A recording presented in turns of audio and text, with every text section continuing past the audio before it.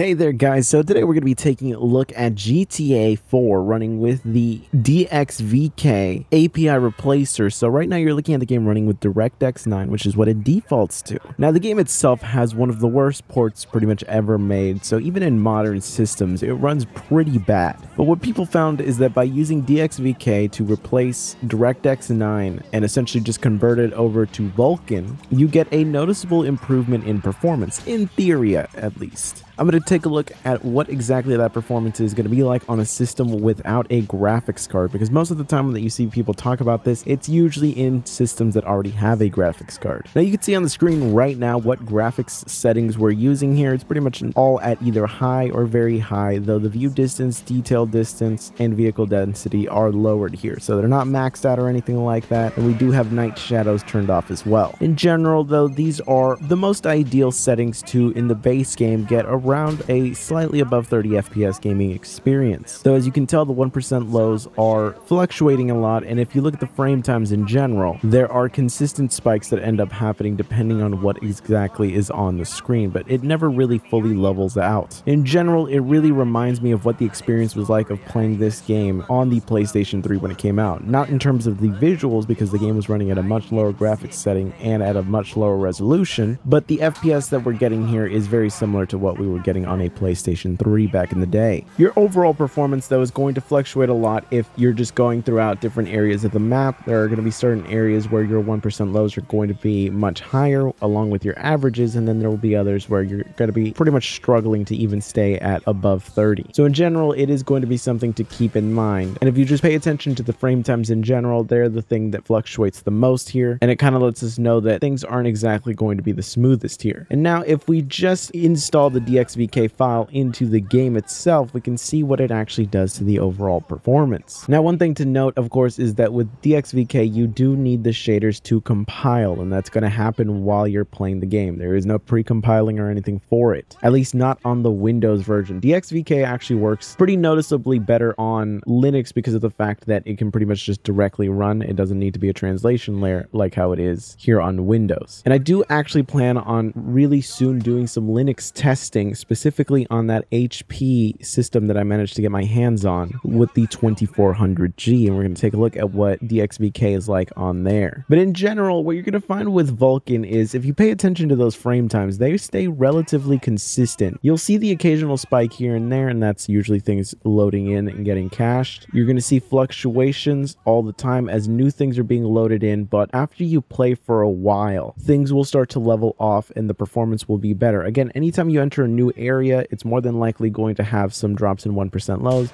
but pay attention to the frame times and you'll see how quickly things recover. And we'll just jump ahead a little bit after I played for a good while to see what the performance is like once things level off. So after driving around the city and playing for about 45 minutes just to have as much things cached up as possible at this point, the level of performance that we're getting is pretty noticeably consistent in comparison to DirectX 9. Really, the big tell here is the frame times. Frame times paint the whole picture here where you see that things are just far more consistent. We're not necessarily seeing a huge jump or anything like that in our averages, but it's the overall consistency of the experience that gets improved. Again, entering new areas and things like that, things that you have not gone through before, you are going to see the occasional stutter or pretty frequent stutter as things start to get loaded in. But the game will recover very quickly and once it has cached that stuff, you will not have these drops anymore. So in general, it is not going to be groundbreaking it's not going to suddenly enable you to max out the game. It's not going to suddenly let you enable ENBs that you couldn't run before. In general, all it does is it makes a game that has always had a very inconsistent performance kind of perform a little bit more consistently. Again, it's all going to depend on the exact areas that you're in. Some areas are going to give you higher FPS than others. And in general, there is a small improvement in the overall performance in terms of the maximum frame rate. But the biggest winner here is really the consistency in frame time. and your 1% lows. And considering how easy it is to really install this, I would definitely recommend that you give it a go, try it out, see if it'll actually work well on your system because at least from what I'm seeing, it does make a game that has historically had a very bad port be far more playable. Now keep in mind that with AMD's improvements with the their DirectX 11 drivers, DXVK isn't exactly as useful as it was a little while back, especially again if you're running on Windows. But DirectX 9 games in general seem to get some noticeable improvements. And if you're using an NVIDIA GPU, it seems to also gain some nice improvements. So if you're someone that's looking into playing older titles, titles that run on DirectX 9, you might actually have a good time giving it a go on here and trying this out with a wide variety of different games and seeing how it actually does in terms of the overall performance. With that said though, if playing older titles like that is kind of your thing, maybe give Linux a go because this is essentially natively built in. It's a lot easier to implement and a lot of the times it ends up performing better. So it's something to keep in mind. It's not a game changer or anything like that. I mean, what it let us do with Fallout New Vegas is just consistently have the game maxed out. That's not going to be the case here, but it does overall smooth up the experience. Again, on a title that historically has had pretty inconsistent performance on PC. So I'll be leaving a link down below to the GitHub for DXVK so that you can give it a go on your Grand Theft Auto 4. One thing to keep in mind though is that you are also more than likely going to have to downgrade your version of Grand Theft Auto 4 if you want to maximize the performance. Apparently version 1.0.7.0 is the best in terms of compatibility with DXVK, gives you the biggest boost. You can of course just go to the one right above you could also just run the game stock if you want, but I think that GTA is worth downgrading anyway so that you can actually use some of the mods that are available for the game. They really can make a huge difference in improving this decade and a half old title. And pretty much all of the good quality mods are going to require you to actually downgrade to an older version of the game. So I'll also be linking down below to the downgrading tool that you need to downgrade your game. Again, if you're going to be using DXVK, then I would recommend just going with what the downgrader actually tells you to use with it, but it's really just up to you and it actually gives you a lot of options on what you can and can't do. But anyways, I hope you found this quick look at DXVK running with GTA 4 to be interesting, useful, or entertaining. If you did, be sure to subscribe and I will catch you guys in the next one.